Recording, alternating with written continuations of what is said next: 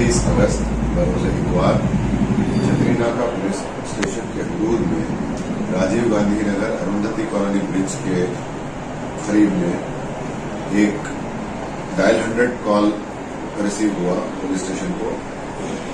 وہاں پہ ہمارے لوگ جا کر کے دیکھے۔ اس کے وہاں پر جو ہے ایک اما کانت تینتیس سالہ شخص ہے۔ وہ مرا ہوا ملا وہاں پر، ان کی لاش برامد ہوئی۔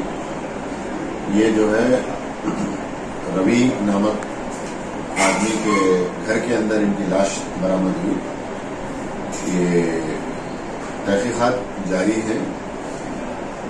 یہ ان کے جو کما کام کے اوپر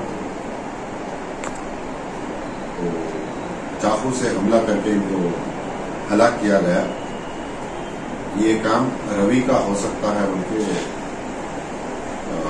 امکانات ہے اس کی تحقیقات جاری ہے۔ جلد مجرم کو پکڑا جائے گا اور عدالتی تحویل میں بھیجا جائے گا۔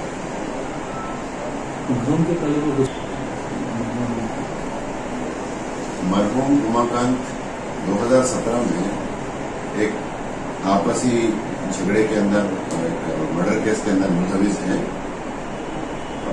اس کے بارے میں بھی تحقیقات جاری ہے یہ کمپلیٹ انویسٹیگیشن کرنے کے بارے میں ہم کچھ بتا سکتے ہیں۔ نہ పెళ్ళి ఎనిమిది సంవత్సరం అయింది నాకు ముగ్గురు పిల్లలు ఇద్దరు మగ పిల్లలు ఆడపిల్లలు నా భర్తకు చంపేశారు గుండు రవి అని. నా భర్త ఇప్పటివరకు ఎవరికి ఏం చేయలేదు. ప్రతి దానికి అందరికీ మనకు సోషల్ సర్వీస్ సోషల్ సర్వీస్ అని అందరికీ ముంగటికి వచ్చిండు ఆడ దోకా చేసిన నా మొగకు చంపేసిండు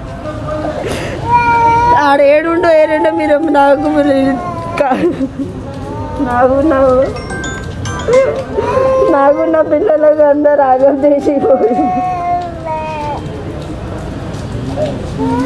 开心了，开了。